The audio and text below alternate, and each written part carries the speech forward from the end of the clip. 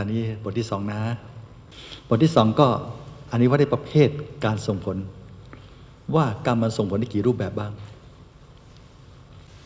นะหมวดที่หนึ่งก็กรรมส่งผลตามหน้าที่ หมวดที่สองก็กรรมให้ผลตามลำดับ หมวดที่สามกรรมให้ผลตามเวลา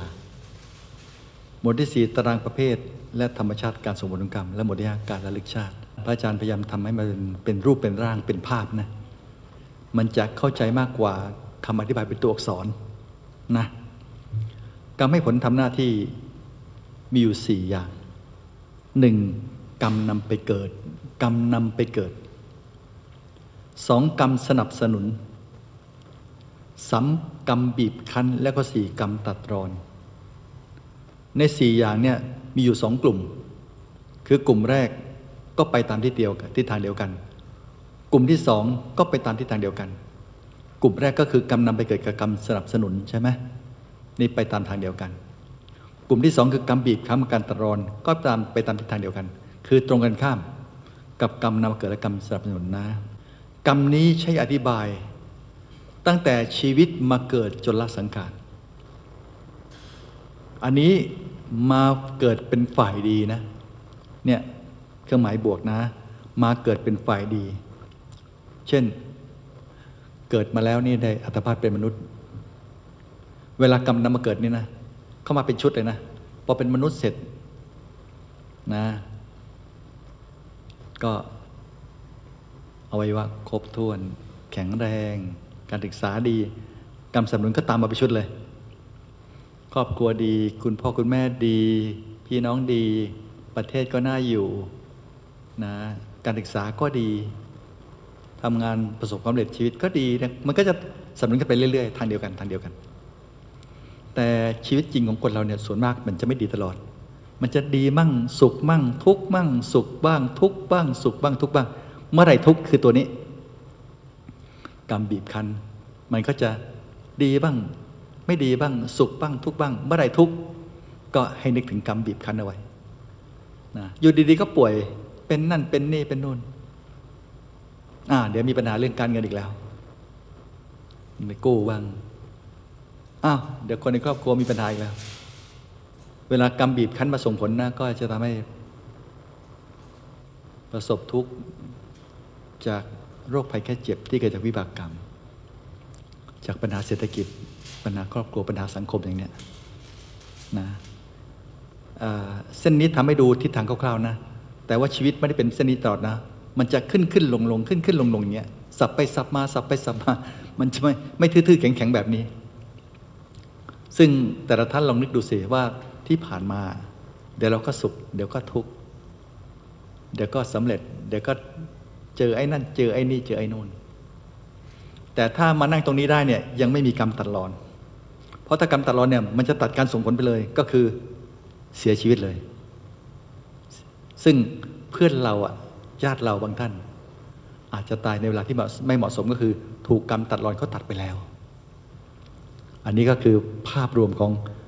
กรรมให้ผลตามหน้าที่ ซึ่งกรรมนำมาเกิดเป็นกรรมที่ดีนะคราวนี้มันมีสองด้าน ด้านลบบ้าง ด้านลบบ้าง ด้านลบหน้าตาเป็นแบบนี้นะ กรรมนำมาเกิดไม่ดีเลย กรรมสนับสนุนกรรมนำมาเกิดทำให้หนักเข้าไปอีก แต่ก็ยังมีกรรมบีบคั้นมาช่วยเหลือ อันนี้ต้องอาศัยเรื่องของคนอื่นแล้วบางทีเรื่องเราเราไม่ไม่คุ้น เราจะเคยดินสุนัขบางตัวเป็นสุนัขโชคดี แต่ตอนเกิดเนี่ยเกิดไม่ดี คือเกิดเป็นสุนัข แล้วเป็นสุนัขไม่ใช่สุนัขพันธุ์ดีๆซะด้วย เป็นสุนัขข้างถนนน่ะ เป็นสุนัขจรจัดอะมันก็ต้องแย่งกันกินดิ ต้องถูกรังแกตลอด คือกรรมสัตว์นเนี่ยทำให้มันแย่ไปอีกแย่ไปแย่ไปแย่ไป แต่จังหวะดีอะไปเจอเนาะไม่รู้ทำบุญมาก่อนเปล่าเป็นคนเจอคนมีบุญเนี่ยเก็บมันมาเลี้ยง มาดูแลมันมาฝึกมัน อันนี้คือกรรมบีบคั้น บีบคั้น กรรมที่ไม่ดีให้มันทุเราลงทุเราลงทุเราลง พอเข้าใจไหมเอ่ย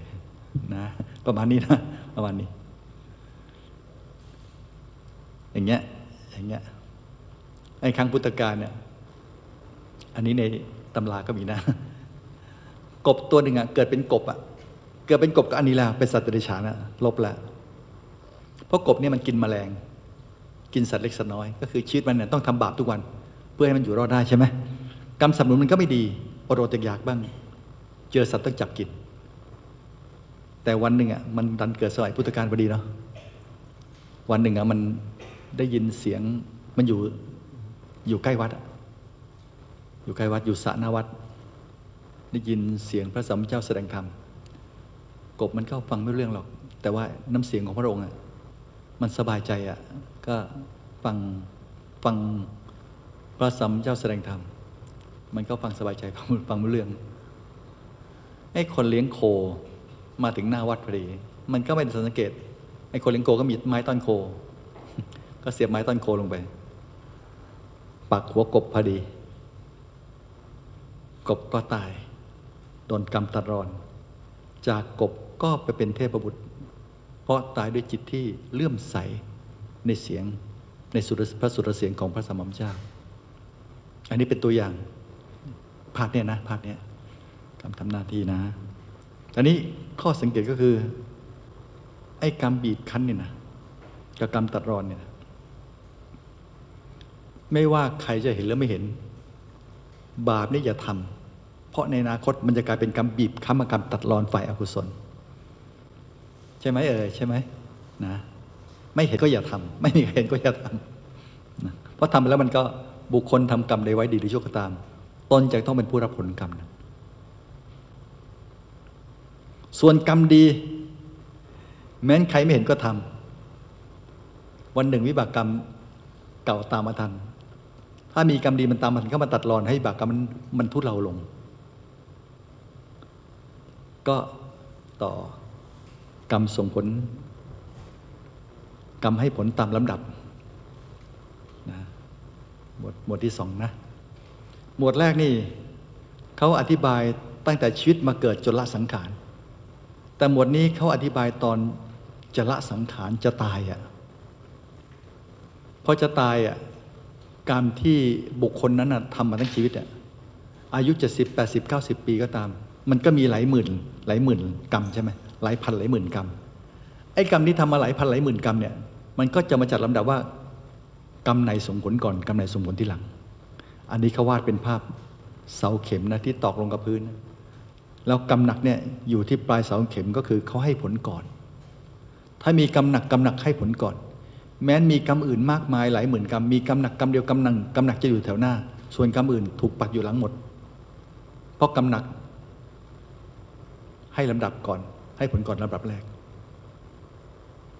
แต่ถ้ากำหนักไม่มีกำหนักก็มีฝ่ายบุญกับฝ่ายบาปกำหนักฝ่ายบุญนะตั้งแต่ปฐมฌานหรือเราเรียกว่าปฐมมรรคขึ้นไป ปฏิบัติธรรมนะ จนบรรลุธรรมตั้งแต่ปฐมมรรคขึ้นไป คนภายนอกเรียกปฐมฌานเป็นกำหนักฝ่ายบุญ ก็จะตัดรอนก็จะส่งผลก่อนคำอื่น ปิดอบายไปสวรรค์ ถ้ากำหนักฝ่ายบาป ก็อนันตริกรรมห้าประการนะฆ่าบิดาฆ่ามารดาฆ่าพระอรหันต์ทำบูชาให้เป็นห่อพระโลหิต แล้วก็ทำสังฆเพศทำสงฆ์ให้แตกกันนะ ในยุคนี้ที่ต้องระวังมากๆ อย่างเราเข้าวัดนี่ก็ไม่แล้ว เรื่องพ่อแม่เราเลี้ยงดูอย่างดี แต่ต้องระวังบางทีเนาะระวังเรื่องสงฆ์ผิดพลาดมันผิดพลาดได้ ไป สร้างความเข้าใจผิดให้พระท่านทะเลาะกันย่างเงี้ยต้องระมัดระวังในโลกปัจจุบันนะโดยเฉพาะเทคโนโลยีการสื่อสารมันโอ้โห มันรวดเร็วกว้างขวางมากต้องระวังนะอันนี้กำหนักนะกำหนัก ก็ปิดประตูสวรรค์ไปอบายภูมิกำหนักห้าข้อนี่ก็อเวจีมหานรกหรือหรืออย่างน้อยก็ยมโลกของอเวจีมหานรก ถ้ากำหนักไม่มีตัวต่อมาคือกรรมใกล้ตายให้ผลก่อนใกล้ตายนึกถึงอะไรอะ ไอ้หลายหมื่นกรรมที่ทำมา นึกถึงบุญบุญส่งผลก่อน นึกถึงบาปบาปส่งผลก่อนนะซึ่งกรรมใกล้ตายมักจะส่วนใหญ่มักจะมาจากกรรมที่ทำจะเป็นนิสัย แต่ไม่เสมอไปไม่มีกฎตายตัว แต่ส่วนใหญ่มันเป็นแบบนั้น เพราะมันคุ้นเคยมันนึกง่าย แต่ก็มีบางกรณีที่กรรมที่ทำเป็นนิสัยดี แต่กรรมใกล้ตายไม่ดี ไม่ดี แต่ไม่ดีไม่นาน กรรมดีๆก็ตามไปช่วย แต่มันก็ไม่ควรที่จะให้กรรมไม่ดีไปส่งผลให้ประสบทุกข์ก่อนนะเรียงลำดับแบบนี้นะกรรมหนักมีไหมกรรมหนักมีกรรมหนักส่งผลก่อนกรรมหนักไม่มีกรรมใกล้ตายส่งผลกรรมใกล้ตายมีไหมกรรมใกล้ตายมีกรรมใกล้ตายส่งผลก่อนกรรมใกล้ตายไม่มีกรรมเดินเป็นนิสัยก็จะให้ผลต่อมา ถ้ากรรมที่ทำเป็นนิสัยไม่มีอีกคราวนี้ก็คือควบคุมไม่ได้ กรรมอะไรก็ส่งผลได้ ซึ่งมันไม่ควรจะเป็นกับ ผู้ที่รู้หลักวิชาใช่ไหมเอ่ย ส่วนผู้ที่ไม่รู้หลักวิชาก็เรื่องของเขานะในที่บนที่สามกรรมให้ผลตามเวลา กรรมที่ทำในปัจจุบันนี้ ส่งผลในปัจจุบันก็มี ส่งผลในชาติหน้าก็มี ส่งผลในชาติถัดไปก็มี แล้วก็เลิกให้ผลก็มี ชาวสวนชาวนาปลูกพืช พืชแต่ละพันธุ์ก็ให้ผลไม่เท่ากัน ก่อนเข้าพรรษาปลูกข้าว ออกพรรษาก็เก็บเกี่ยวแล้ว คือปลูกปีนี้ปีนี้ได้กินนะชาวสวนปลูกกล้วยกลางปี ปีนี้ไม่ได้กิน อย่างน้อยมันต้อง 12 เดือน ปีหน้าได้กินนะชาวสวนปลูกลำไยปลูกปีนี้ปีนี้ไม่ได้กิน ปีหน้า ไม่ได้กินต้องห้าปีไปแล้ว ต้องคือทำกรรมไปแล้วต้องรอให้เวลามันให้ให้มันเวลาทำงาน แล้วก็ส่งผล อันนี้ของหยาบๆที่เราเห็นนะคือการปลูกพืช มันให้ผลเวลาที่ไม่เท่ากันชั้นใด การทำกรรมก็เช่นเดียวกันนะกรรมมาอย่างเลิกให้ผลนะนะอันนี้อธิบายผลของกรรมข้ามชาติ ชาติต่อชาติ ชาติต่อชาติ ชาติต่อชาตินะตอนนี้เรามาดูภาพรวม ภาพรวมนะ บทบาทและความสัมพันธ์ของกรรมแต่ละประเภท อันนี้กรรมทำในชาตินี้ ให้ผลในชาตินี้ก็มีใช่ไหมเอ่ย ให้ผลในชาติหน้าก็มีนะ ให้ผลในชาติถัดไปก็มีนะเป็นการอธิบายผลของกรรมข้ามชาติ ข้ามชาตินะแต่ถ้ากรรมให้ผลตามหน้าที่ เขาอาจจะอธิบายจบในชาติเดียว ตั้งแต่เกิดจนสิ้นอายุไขใช่ไหมเอ่ย จบในชาติเดียว กรรมนำมาเกิดกรรมสนับสนุนกรรมบีบคั้นแล้วกรรมตัดรอน จบในชาติเดียว ส่วนอันที่สามกรรมผลตามระดับ อันนี้เขาอธิบายตอนนี้ ตอนจะตาย ตอนจะตาย กรรมหนักมีไหมกรรมหนักมีกรรมหนักส่งผลก่อนกรรมหนักไม่มีกรรมใกล้ตายส่งผลกรรมใกล้ตายมีกรรมใกล้ตายส่งผลก่อนกรรมใกล้ตายไม่มีกรรมที่เป็นนิสัยส่งผลกรรมที่เป็นนิสัยไม่มีอันนี้ก็ควบคุมไม่ได้ กรรมอะไรก็ส่งผลได้เขานิยมใช้อธิบายตอนใกล้ตาย กรรมส่งผลทั้งสามประเภท โดยภาพรวมเวลาอธิบาย ก็ตามภาพนี้นะ ตามภาพนี้ง่ายๆนะ บทบาทและความสัมพันธ์ของกรรมแต่ละประเภทนะ ประเภทการส่งผลของกรรมนะอันนี้สังเกตและสรุปจากการฟังเคสสตดี้นะ มาประมาณพันกว่าเคสนะ แบบแรกคือกรรมใดกรรมหนึ่งในอดีตชาติ ตามมาส่งผล กรรมเดียวโดดๆเลยในชาตินั้น ตามมาส่งผลในชาตินี้นะเช่นเรื่องของน้องยุยน้องยุ้ยเด็กแก่เมืองอุบลในอ่านตามข่าวที่เขียนนะจ๊ะ อายุสิบขวบ แต่เพื่อนเขาเรียกคุณยาย เพราะเหตุที่หน้าตาเหมือนคนอายุ 80 ปี น้องยุ้ยเป็นคนกล้าแสดงออก โตขึ้นอยากเป็นหมอ พื่อจะได้รักษาคนป่วยที่มีลักษณะคล้ายตนเองให้หายเป็นปกติ นี่เป็นความคิดที่สูงส่งเป็นแรงบันดาลใจของเธอ คือเธอก็ไม่อยากจะให้คนอื่นในโลกนี้ หรือใครๆในโลกนี้เป็นอย่างเธอ เธออยากจะมีความรู้ที่จะรักษาเยียวยาผู้ป่วยที่มีอาการอย่างเธอให้หายเป็นปกติ แม้เธอจะไม่หายก็ตาม แต่ขอให้มีความรู้ เธออยากเป็นหมอ เด็กหญิงยุพาวงศิกุลหรือน้องยุ้ยปัจจุบันเรียนอยู่ชั้นประถมศึกษาปีที่สี่โรงเรียนบ้านเชียงแก้วอำเภอตาลสมจังหวัดอุบลราชธานี อายุ10ปี แต่รูปร่างหน้าตาภายนอกคล้ายกับคนแก่อายุ80ปี เนื่องจากมีใบหน้าเหี่ยวย่น ผิวหนังหย่อนคล้อย เปลือกตาด้านบนหย่อนลงมาปิดดวงตาด้านล่าง เหลือเห็นดวงตาเพียงครึ่งเดียว ส่วนผิวหนังตามร่างกายก็หย่อนหยาดและเหี่ยวย่นเช่นกัน จากการสอบถามนางอัญชนาพิมพ์บุญมาอายุ 40 ปีซึ่งเป็นครูประจำชั้นของน้องยุ้ยว่ามาตอนอยู่ป .2 ป .3 ระบุว่า น้องยุ้ยก็มีสภาพร่างกายมันก็คนแก่ชนนี้มาตั้งแต่เกิดแล้ว นั่นคือผิวหนังเหี่ยวย่นผิดจากเด็กทั่วไป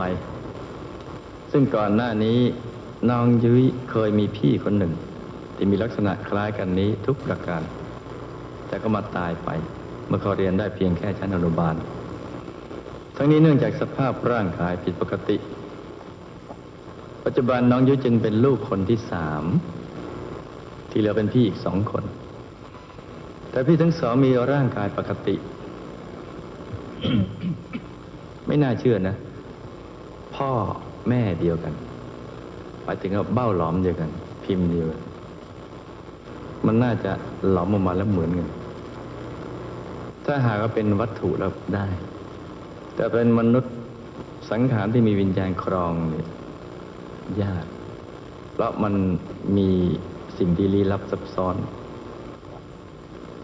คือเกี่ยวกับเรื่องกฎแห่งกรรมเนี่ยเข้ามาเกี่ยวข้องด้วยไอ้ตรงเนี้ยมันจึงมาเป็นอย่างนี้อย่างไรก็ตามแม้จะมีร่างกายที่ไม่ปกติ ผิวหนังเหี่ยวจนเหมือนคนแก่ แต่สำหรับน้องยุ้ยแล้วถือว่าเป็นเด็กที่ตั้งใจเรียนดีมากเด็กเกรดสามสี่เป็นประจำ อีกทั้งยังเป็นเด็กที่มีความเอื้อเฟื้อเผื่อแผ่ต่อเพื่อนฝูง เรื่องน้องยุ้ยเป็นเรื่องของวิจีกรรมในอดีตเรื่องมีว่า มีสามีภรรยาคู่หนึ่ง มีลูกชายหนึ่งคน ต่อมาสามีตายภรรยาก็เลี้ยงดูลูกชายมาจนโต กระทั่งลูกชายโตขึ้น ก็มีอาชีพไปค้าขายต่างเมือง ภายหลังก็ได้ภรรยามาจากต่างเมือง เมื่อมาอยู่ด้วยกันก็มีปัญหาแบบแม่ผัวลูกสะใภ้จนภายหลังภรรยาก็คลอดลูกสาวออกมา ส่วนสามีก็ไปค้าขายต่างเมืองส่วนภรรยาก็เลี้ยงลูกอยู่บ้านกับแม่สามี มักจะมีเรื่องทะเลาะกันระหองระแหงกันอยู่เรื่อยๆ สะพ้ายมักจะด่าว่าแม่สามีบ่อยๆแล้วสอนลูกสาวของตนพูดจากกระทบคุณย่าของตนเสียใจ ช่วงแรกจะพูดรับหลัง โดยสอนลูกให้เรียกคุณย่าว่าอีแก่ ดังนั้นต่อมาหลานจึงเรียกคุณย่าว่าอีแก่เพราะเชื่อแม่ คิดว่าแม่ต้องสอนในสิ่งที่ดี ๆ แต่ถ้าสามีจะเสแสร้งจะเสแสร้งทำความดี จึงทำให้สามีนึกว่าภรรยาตัวเองดีต่อแม่ของตัว ภายหลังสามีไปค้าขายถูกโจรปล้นและถูกฆ่าตาย ดังนั้นสองแม่ลูกที่เหลืออยู่จึงรุมด่ากระทบกระเทียบแม่สามีว่าอีแก่ทำท่าทางล้อเลียน แบบคนแก่ที่งกกเงินเงินเรื่อยๆจนแม่สามีตรอมใจตาย เอาจนตายเลยเสียใจนะ โดยกรรมนี้จึงทำให้สองแม่ลูกมาเกิดเป็นพี่น้องกัน แต่ตัวแม่ตายไปก่อนเพราะกรรมหนักกว่า เนื่องจากทำเองแล้วสอนลูกให้ทำตามจึงเหลือแต่ลูกสาวซึ่งก็คือน้องยุ้ยนี่เอง เพราะฉะนั้นก็ต้องให้น้องยุ้ยนี่ต้องสั่งสมบุญให้เยอะๆแล้วก็ทำบุญอุทิศส่วนกุศลไปให้อดีตคุณย่าชาติในอดีตนั่นแหละ คุณย่าในอดีตชาติ จะไปเกิดในภพภูมิไหนเนี่ยให้ได้รับส่วนบุญกุศลนี้ขออโหสิกรรมกับท่านสัก นนี้เป็นกรรมในอดีตชาติใดชาติหนึ่งนะ ตามมาส่งผลนะ เรื่องรูปวิบัติเนี่ย จากที่พระอาจารย์ได้รวบรวมจากที่คุณครูไม่ใหญ่ฝันในฝัน สาเหตุหลักมันเกิดจากวจีกรรมด่าว่าล้อเลียนทำให้คนอื่นเจ็บช้ำน้ำใจในความบกพร่องของของเขาไปด่าไปว่าไปล้อเลียนเรื่องอะไร ถึงเขากรรมหมุนกลับก็ไอ้เรื่องนั้นก็กลับมาหาตัวเองนะอันนี้ก็ต้องระวังนะ มันง่ายมากเลยนะไอ้วาจาเนี่ยนะนะโอกาสผิดพลาดง่าย ต่อมารูปแบบที่สองคือกรรมในอดีตเนี่ยหลายหลายกรรม และก็หลายหลายชาติมันมารวมส่งผล รูปแบบที่สามคือกรรมในอดีตชาติใดชาติหนึ่งอะมารวมกับกรรมที่ทำในปัจจุบันเนี่ยตามมาส่งผล นั่นก็หมายความว่ากรรมที่ทำในปัจจุบันก็มีผล สามารถส่งผลได้ในปัจจุบันก็มี รูปแบบที่สี่กรรมในอดีตหลายกรรมหลายชาติรวมกับกรรมปัจจุบันส่งผล และรูปแบบที่ห้าการส่งผลของกรรมนะ ไม่มีวิบากในอดีตเลย เป็นกรรมเพิ่งทำในชาติเนี้ยมันตามมาส่งผลในชาติเนี้ยอันนี้เป็นเรื่องที่เราต้องเข้าใจว่า เหตุที่เราประสบสุขและทุกข์ไม่ใช่กรรมในอดีตชาติทั้งหมด บางอย่างก็เกิดจากกรรมปัจจุบันก็มีนะ